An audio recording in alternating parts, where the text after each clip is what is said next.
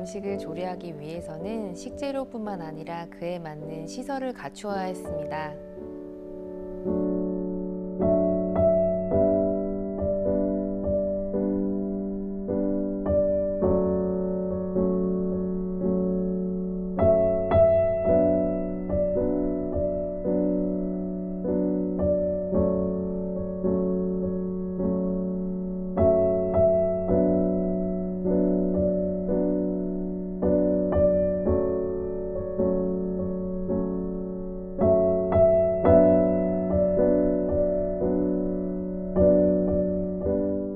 궁궐에 설치된 서양식 주방에서는 외국인 요리사들과 조선인 조수들이 연회를 위한 음식을 만들어 식탁 위로 올렸습니다.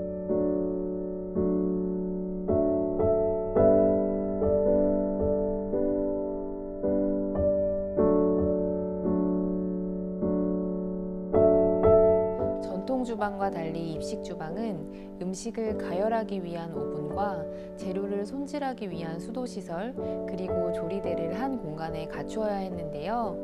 보관용 창고와 수납 공간을 설치하여서 식재료와 조리 도구를 수납할 수 있었습니다.